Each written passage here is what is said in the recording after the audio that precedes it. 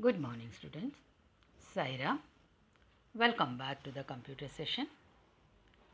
We'll continue Introduction to QBasic Part 3.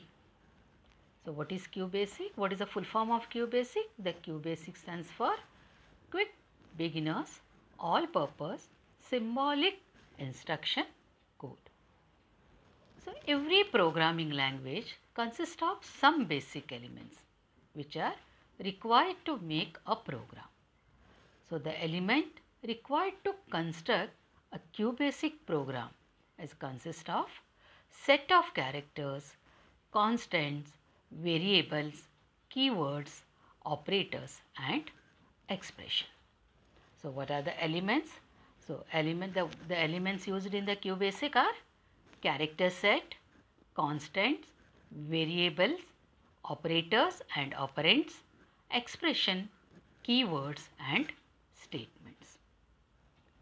In that, in the last session, we have discussed what is constant and character set of QBasic.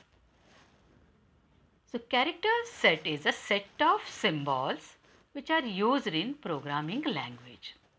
Right? The basic uses the different symbols or you can say character set such as A to Z, capital A to Z, small a to z, right? Or you can say numbers 0 to 9 and some special character like hash, at the rate, dollar, percentage, right? So, so these are all datas, right? So, data means it can be number, symbol, name, anything. But data can be categorized into two types, right? We have learned what is constant and the two types of constants. So, what is con constant? The constant means what? It is a fixed value, right? Constant are the fixed value, the value which does not change during the execution of the program is called constant. In that we have learned a numeric constant and string constant. So, in this session we will learn our next elements like variables and operators. So, now what is variables? Okay. So, all of you know for the constant we have taken some example, right. What are the example of uh, constant? That is a fixed value, the value which does not change during the execution of the program. For example, you can say number of days in a week, okay, it is always be 7. So, sun rises in which direction? That is always east, right? That is a fixed. Okay, number of hours in a day, that is a 24. That is a fixed, that is constant. Okay. So, now what is variable? So, the variable is a location in memory to which any value can be assigned it. It continues to hold the value until another value assigned to it. Okay. So, for example, you can say your height, weight, they keep on changing, right? For, or you can say price of vegetables, right? It will change, okay? Keep change. They keep on changing depends upon some condition, right? So, these are called variables, okay? That means during the execution of the program, we cannot change the data, right?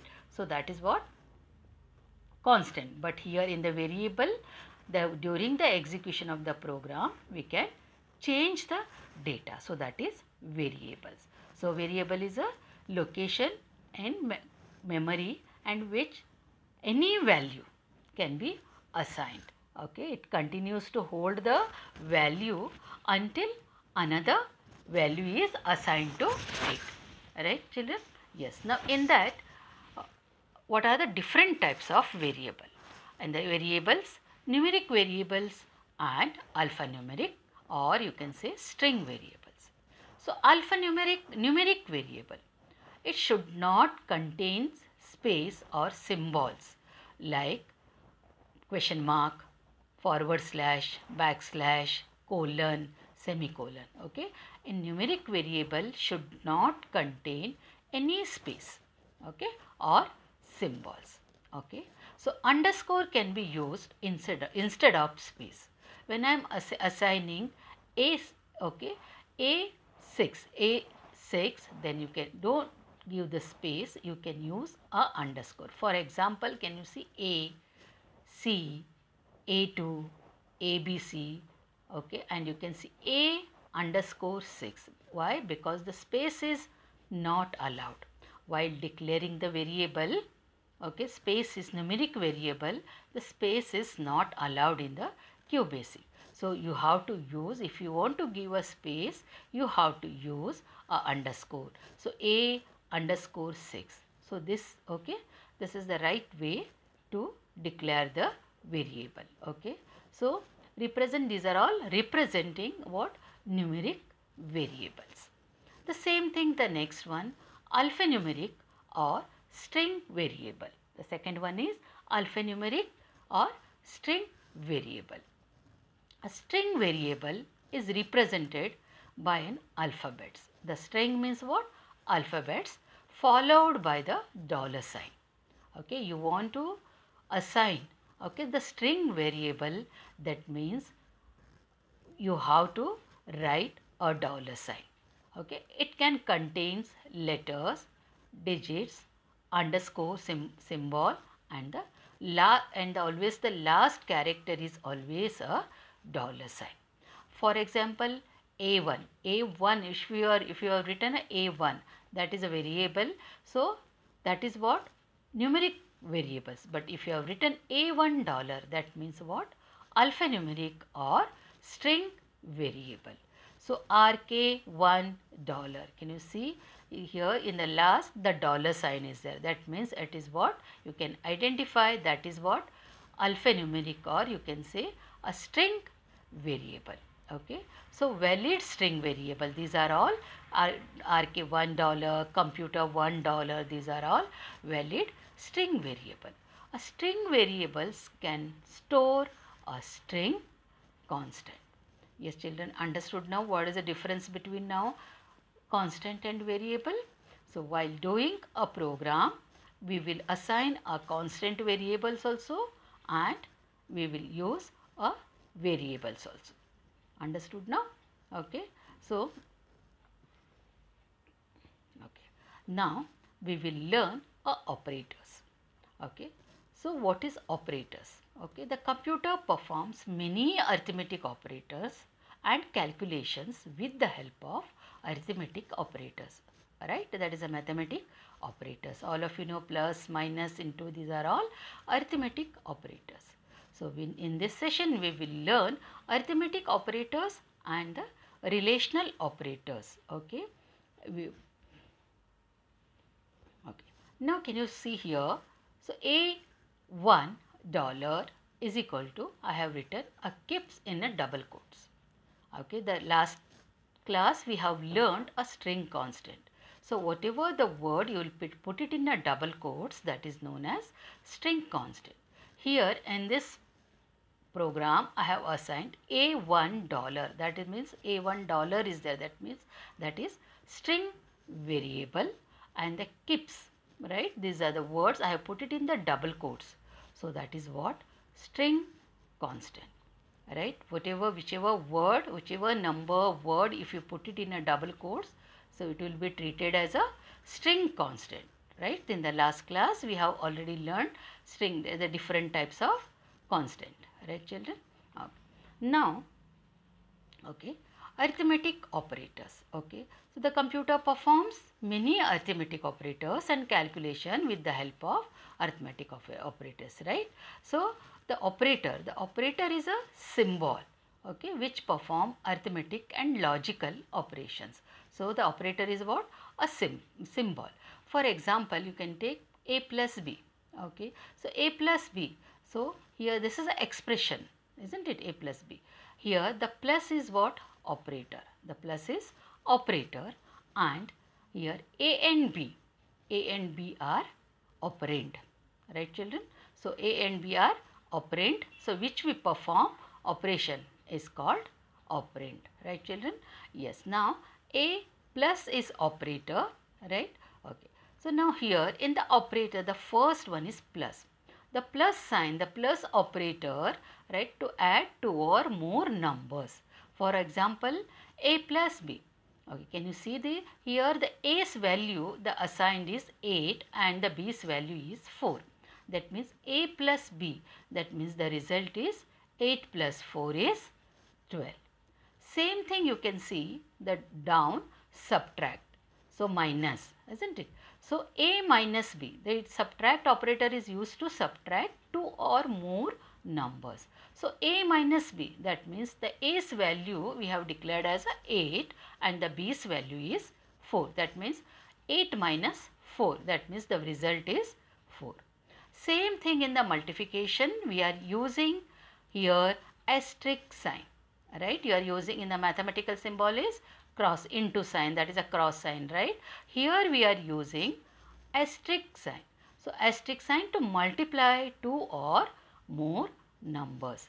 So a into b that means a's value is how much? 8 and the b's value is 4 that means 8 4s are 32 the result is 32 same thing slash. Can you see the slash here forward, forward slash? We are using as a divide sign. Can you see it? Fourth one that is a divide sign to divide two or more numbers. We are using the divide sign. So, A's value is 8 and the B's value is again 4. So, result is 2. Right. Now, the last one to calculate exponential value. So, can you see that caret sign exponential value? So, a, a exponential 3 that means a raised to 3 right. So, a's value is how much? 8 it is but a 8 into 8 into 8. So, a raised to 3. So, the answer is 512. So, why we are learning this in the when you are doing the programs we will use all the operators. Yes children.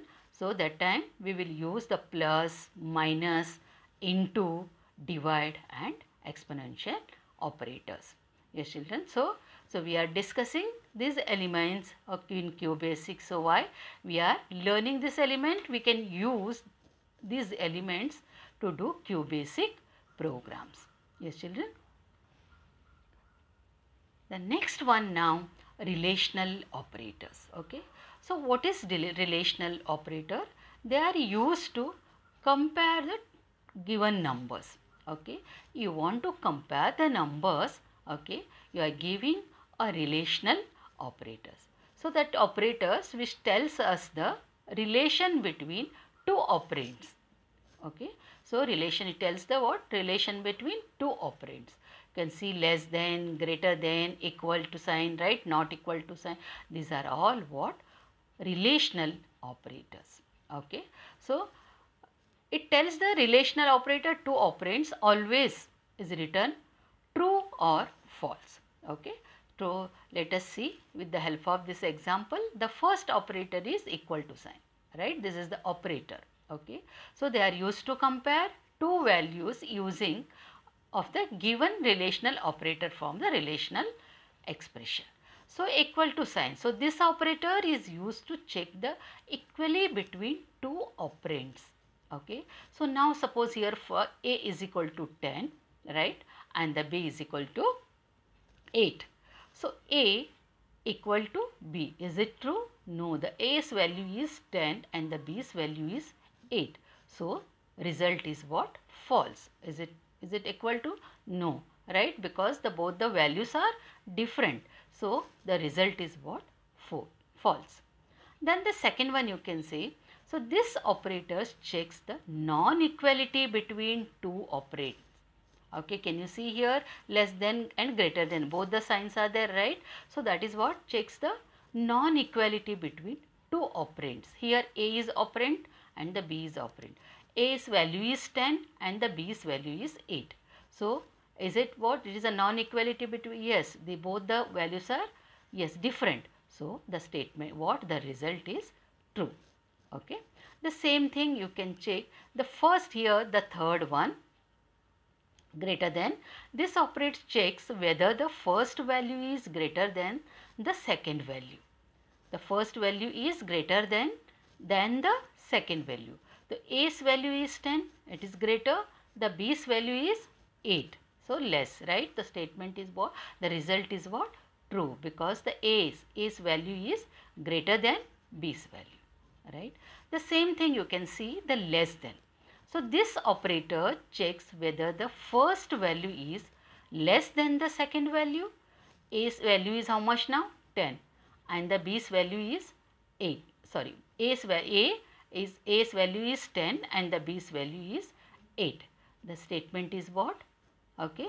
So, the statement is false. Alright. The same thing now next this operator okay. So, you can see greater than and equal to sign. So, this operator checks whether the first value is greater than or equal to the second value. Okay. The first value is how much? 10 and the second value is 8. A is 10, A's value is 10 and the B's value is 8. Now it will check the yes. So A's value is what? Yes, here it what it will check? It will check the first value is greater than yes the first value is greater than yes the 10 is greater. Or equal to the second value? Uh, yes. So the statement is what? True. Okay. So the same thing again. The last one. So, this less than or equal to this operator checks whether the first value is less than or equal to the second value. Okay. So, the first here you can first value is less than or equal to the second value. The first value is what? Not less than, it is a greater than B, right? So, the statement is false. So, these are all when you are doing the QBasic program, you, we will use the less than, greater than, equal to sign okay, and different relational operators. Okay. So, in this we will stop this session and the next session we will learn so one, one more operators and we will learn some QBasic statements with the help of QBasic software. Saira.